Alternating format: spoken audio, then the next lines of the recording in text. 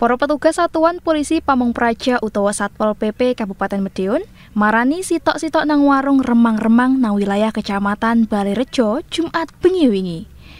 Warung-warung remang iki dibedek dodolan macem-macem ombenan banyu londo ambek arak Jawa. Teko telu warung sing ana nang wilayah Balirejo ambek Wonosari, petugas kasil ngamano atusan botol banyu londo.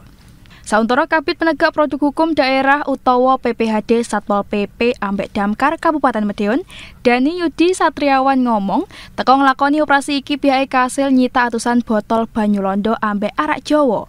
Mari ngono, ombenan sing gak ana izine iku digawa nang kantor gawe barang bukti. Dani yang negasno, sing duwe warung kebukti nglanggar Perda nomor 5 tahun 2015 kaitane barek pengadilan ambek pengawasan peredaran minuman beralkohol. Inci mane isok telung wulan urip nang bui ambek denda paling akeh 50 yuta repes. Tova Pradana, CTV.